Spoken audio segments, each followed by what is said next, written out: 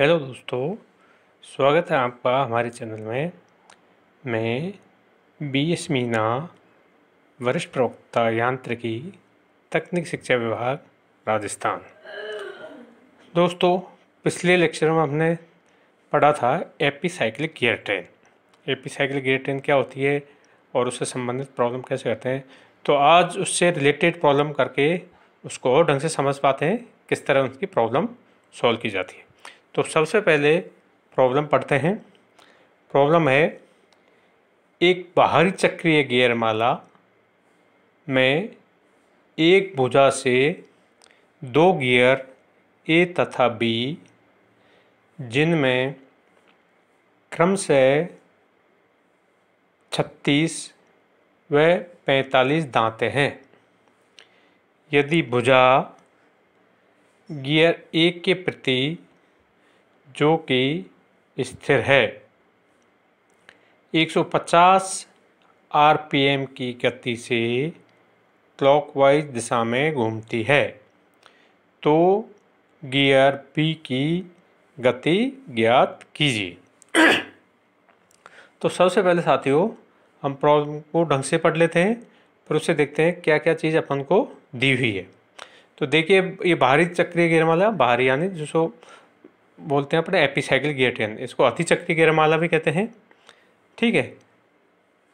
तो इसमें देखो, इसमें एक भुजा है, उससे उसको अपन मान लेते हैं आर्म सी ही, जैसे आप डायग्राम में देख रहे हो, एक भुजा से दो गियर ए तथा बी ये इस पर लगे हुए हैं, ये गियर ए है, ये गियर बी है, और इनमें जो दांतों की संख्या, जो नंबर ऑफ़ टीथ्स हैं, वो गियर ए पर हैं थर्टी सिक्स और गियर बी पर फोर्टी फाइव, पैंतालीस ठीक है? अब इसमें जो यदि भुजा जो gear A gear A constant है और जो आरपीएम है, जो भुजा के, वो है 100 चक 150 चक्र प्रति मिनट, ठीक है? तो ये चीज़ अपन को दी हुई है। अपन ने पिछले लेक्चर में इसको टेबुलर मेथड द्वारा समझा गया था कि किस तरह प्रॉब्लम सॉल्व करते हैं। तो सबसे पहले इसमें ये टेबल बनाते हैं अपन। ठीक है? तो इसमें वही कंडीशन पहले स्टेप नंबर कॉलम दूसरे में क्रिया, जो भी कंडीशन है मोशन की, और तीसरा है उसमें अवयवों के चक्कर, यानी रिवोल्यूशंस ऑफ़ कंपोनेंट कंपोनेंट्स क्या क्या है? भुजा है गियर ए है गियर बी है ठीक है? तो इसमें पहली कंडीशंस क्या थी? कि भुजा स्थिर है, तथा गियर ए को प्लस वन चक्कर घूमता है। गियर ए प्लस वन चक्कर घूमता है या इसको यूँ देख सकते हैं। भुजा स्थिर है तथा गियर ए को प्लस वन चक्कर से घुमाया जाता है, वन चक्कर देते हैं। ठीक है? अब इसमें जो भुजा है, क्योंकि स्थिर है तो उसके सामने अपन ने क्या है? ज़ीरो, क्यों कांस्टेंट है, उसके चक्कर ज़ीरो है, इसलिए गियर ए को अपन क्या कितने चक्कर देते हैं? प्लस वन चक्कर। तो गियर बी के चक्कर क्या हो जाएँगे? क्योंकि इसका ये है, ये बी है ठीक है ए को एक चक्कर देते हैं तो फिर गियर पी के चक्कर हो जाएँगे T A upon T B जैसा कि अपन पहले कर चुके हैं इसको कि ये टी अपॉन टी बी किस तरह आया, ठीक है? जैसे अब होता है ना N B upon N A equal to T upon T B और उसके एन ए के चक्कर वन है तो ये टी अपॉन टी बी आ जाएगा और माइनस आ जाएगा हमने इसकी डायरेक्शंस एक के विपरीत दिशा में, ठीक है? तो ये आपकी फ़र्स्ट स्टेप आ गई।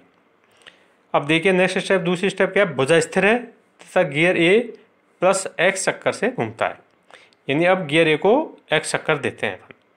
भुजा ये फिक्स है ये कंडीशन। भुजा स्थिर दो जो फ़र्स्ट स्टेप, सेकंड स्टेप तक भुजा स्थिर है, क्योंकि ये अपनी जो है सिंपल गियर ट्रेन की तरह करना है ठीक है? ए और बी सिंपल गियर की तरह घूम रहे हैं, इसकी जैसे एक दूसरे के विपरीत दिशा में घूमते हैं। तो उसी तरह अब यहाँ भुजा के चक्कर ज़ीरो। अब इसको एक्स चक्कर से घुमाता है तो यहाँ पर एक्स से मल्टीप्लाई कर दिया इसको, एक्स हो गया। अब गियर बी के चक्कर क्या है? टी अपॉन टी बी तो एक चक्कर गियर ए को दे रहे हैं तो इसके चक्करों की संख्या X into T upon T B हो जाएगी। ठीक है? तो इस तरह ये आ गया। तीसरी कंडीशंस और जो है मोशंस की, जो भी क्रिया है, वो क्या है? भुजा प्लस वाई चक्कर घूमती है। यानी अब भुजा को वाई चक्कर से घुमाते हैं मतलब उसको वाई चक्कर देते हैं। तो इसमें क्या है? तीसरे उसमें तो अब तक जो है उसमें सब में वाई वाई अपन ऐड कर देते हैं। ठीक है? इसमें सब में जोड़ देते हैं वाई वाई, इसमें ज़ीरो प्लस वाई वाई, ये एक्स प्लस वाई, और यहाँ पर minus X, T upon T B plus Y तो इसको इस प्रकार लिख सकते हैं, माइनस मतलब Y minus sorry, Y minus X, T upon T B. ठीक है? तो ये आ गई अपने पास, ये टेबुलर मेथड से अपन ने ये टेबल बना ली। अब प्रॉब्लम को ढंग से पढ़ोगे इसमें जैसे बताया था आपको पहले, कि कोई भी दो कंडीशंस कुछ दी हुई होंगी आपको प्रॉब्लम में, जिससे अपन आसानी से आगे सॉल्व कर सकते तो यहाँ पर क्या क्या है? एक तो है कि भुजा गियर ए के प्रति जो स्तर, यानी गियर ए फिक्स है, यानी उसके चक्रों की संख्या कितनी है? ज़ीरो। ठीक है? और भुजा वाई के चक्कर कितने हैं? एक सौ पचास आर पी ये क्लॉकवाइज दिशा में ठीक है? एक सौ पचास आर पी तो वाई बराबर एक सौ पचास दे रखा है तो Y equal to one fifty अब इसमें दे रखा है कि भुजा क्लॉकवाइज दिशा में घूमती है। ठीक है? तो अपन ने इसको पॉजिटिव मान लिया क्लॉकवाइज दिशा को तो वाई बराबर प्लस एक सौ पचास यानी वाई बराबर एक सौ पचास रख दिया। ठीक है? अब यहाँ पर है कि गियर ए स्थिर है तो गियर ए के चक्कर कौन से? एक्स प्लस वाई ये जो नीचे टोटल है ना यहाँ तीसरे कॉलम में, ये चक्रों की संख्या भुजा के वाई हो गए गियर ए के एक्स प्लस वाई हैं गियर बी के Y minus X T upon T B है। तो इसमें भुजा, इसमें जो सॉरी गियर ए के चक्कर कितने हैं? स्थिर है वो तो चक्करों की संख्या स्थिर होगा तो ज़ीरो होगा तो एक्स प्लस वाई बराबर क्या होगा? ज़ीरो अगर मान लो यहाँ गियर ए की बजाय गियर बी स्थिर होता। तो अपन क्या करते? Y minus X T upon T B ये बराबर ज़ीरो रखते। ठीक है तो अपने पास दो कंडीशन होगी तो वाई के आर पी एम इसके भुजा के आर पी एम दे रखे हैं, एक एक गियर ये स्थिर है कॉन्स्टेंट है। तो वाई बराबर एक सौ पचास एक्स प्लस वाई बराबर ज़ीरो क्योंकि ये स्थिर है तो इससे हमें एक्स और वाई के मान ज्ञात हो गए। तो एक्स बराबर माइनस एक सौ पचास आ गया अपना। ठीक है, अब अपन को ज्ञात क्या करना है? गियर बी के गति ज्ञात करनी है। तो गियर बी के कितनी है? जो है अब इसके चक्कर? तो इसकी गति क्या है y minus x into t a upon t v ठीक है?